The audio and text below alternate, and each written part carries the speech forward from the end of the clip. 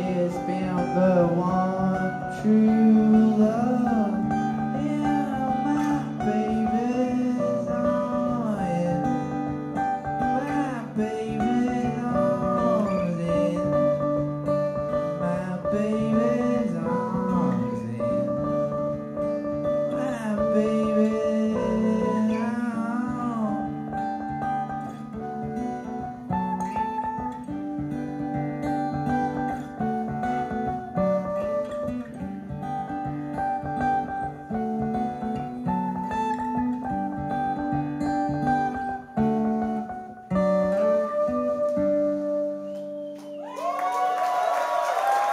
Thank you.